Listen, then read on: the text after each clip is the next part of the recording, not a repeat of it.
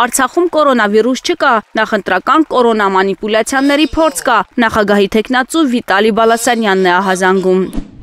Մեզ հասած տեղեկություններով կա ծրագիր՝ խուճ ապսերմանել, կոչ անել դադարեցնել քարոզարշավը, իսկ այնուհետև հետաձգել ընտրությունները։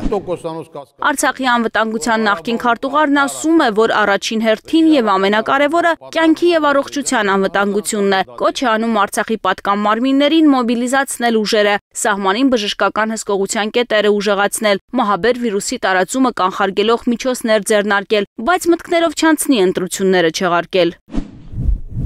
Ընտրությունների արդյունքը գնալով դառնում է անկանխատեսելի։ Հայաստանի ղեկավարության համար անցանկալի տեխնացուի ընտրվելու հերանեկարը հիմք է տալիս դիմել մանիպուլյացիաների։ Արցախի իշխանություններին կոչ եմ անում լինել կայուն եւ սկզբունքային։ Մենք թույլ չենք տա մանիպուլացնել մեզ։ Մենք թույլ չենք տա չեղարկել ընտրությունները։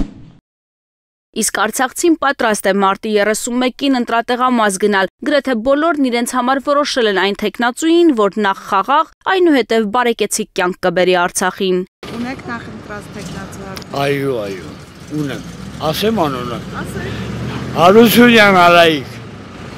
Որովհետև այդ մարտինքը որ վարչապետ է եղել, տեսել ենք էլի որ շատ է քիչ արել է ժողովրդի համար։ Արցախի անվտանգության հարցի լուծման մեջ ես տեսնում եմ Վիտալի Բալասանյանին, որը հանդիսանում է Արցախի հանրապետության հերոս, որը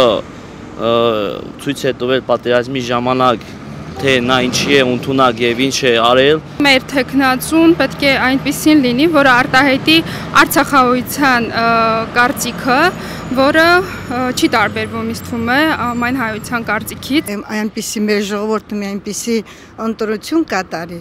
որ հետո չփոշմանենք այդ կատարած ընտրությունից ու ճիշտ ընտրություն մտածված ու ճիշտ ընտրություն կատարի։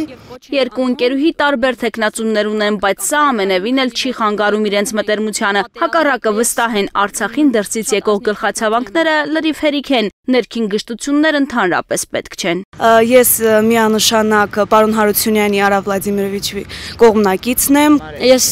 շատ ազնիվ տեխնացու եմ ընտրելու Վիտալի Բալասանյանին շատ լավ եմ վերաբերում, քանի որ նա Արցախյան հերոս է եւ արժանի կլինի։ Մենք հանդուրժողական փոխադարձ հանդուրժողականության, համերաշխության մտնոլորտում ենք մեր շփումը իրականացնում։ Եվ